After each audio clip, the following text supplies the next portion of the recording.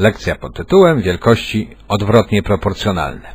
Na poprzedniej lekcji uczyliśmy się o wielkościach wprost proporcjonalnych i popatrz co ja tu zrobiłem. Jeśli rozpoznajesz, to przekopiowałem definicję wielkości wprost proporcjonalnych zmieniając tylko dwa słowa, te na brązowo.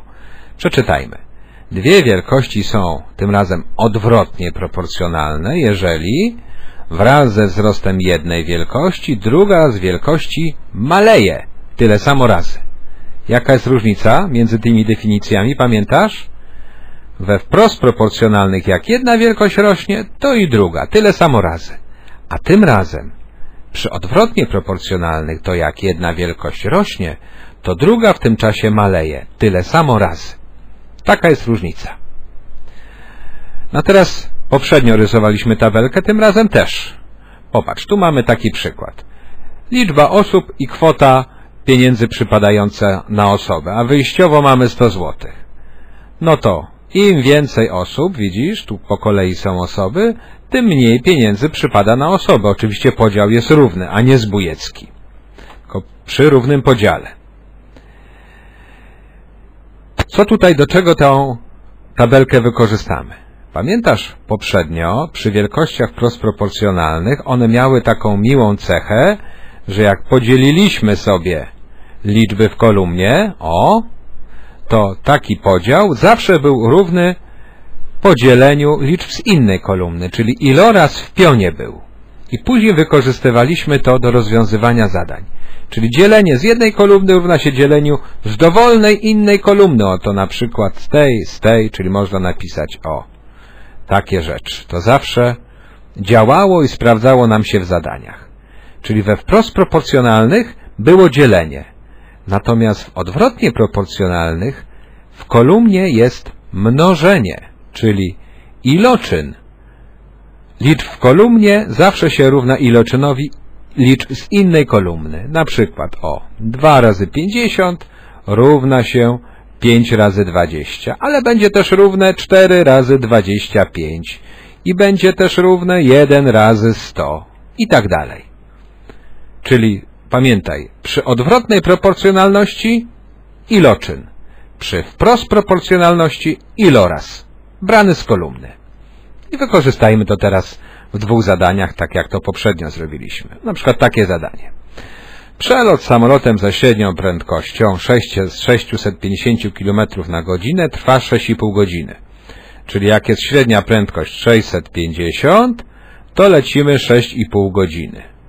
To teraz z jaką prędkością należałoby lecieć, czyli prędkość jest nieznana x, aby lot był o godzinę krótszy, czyli 6,5 minus 1, czyli tak naprawdę 5,5. No i co? To jest odwrotna proporcjonalność, więc iloczyny są równe. No to bierzmy iloczyn z pierwszej kolumny, czyli 650 razy 6,5 z pierwszej równa się x razy, już tu odejmę 5,5. Mamy zwykłe równanie.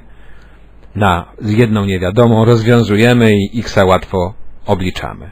Pamięta ktoś jak? Tu wystarczy podzielić obie strony przez 5,5 i już będziemy mieli x. Czyli o, napiszę to tak na wszelki wypadek dla niedowiarków. O, w ten sposób już dostajemy wynik. Bardzo szybko. Inny przykład. Pewien dom ekipa 15 robotników wybudowała 142 dni. Czyli jak robotników było 15, to budowali to w 142 dni. Ilu dodatkowych robotników należałoby zatrudnić, czyli 15 plus x, to są ci dodatkowi robotnicy, aby ten sam dom wybudować dwa razy szybciej. Dwa razy szybciej to znaczy 142 podzielić na 2. No i znowu, weźmy sobie inny kolor. O, iloczyn z tej kolumny, czyli 15 razy 142, równa się iloczynowi z tej kolumny, czyli 15 plus x podzielić, pardon, razy, co ja tutaj piszę, razy razy 142 na 2. Od razu to podzielę, bo to jest równe 71. I proszę bardzo, mamy równanie z jednym x, rozwiązujemy i zadanie wykonane.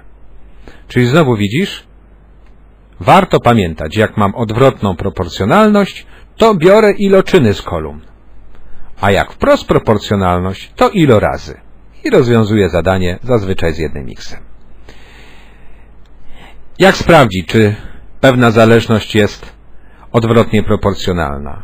Po zrobieniu sobie tabelki, ta tabelka czasami jest dana, a czasami są po prostu tylko dane dwie pary, o na przykład ta i ta, no musimy sprawdzić, czy zachodzi o ta zależność, czyli czy iloczyny się zgadzają.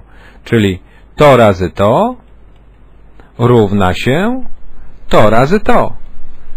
Czyli bierzemy liczby z jednej kolumny, wymnażamy, bierzemy liczby z dowolnej innej kolumny, wymnażamy i patrzymy, czy wynik jest dokładnie ten sam. Jeżeli nie, to mówimy nie jest odwrotnie proporcjonalne. Jeżeli jest równe, to znaczy, że jest odwrotnie proporcjonalne.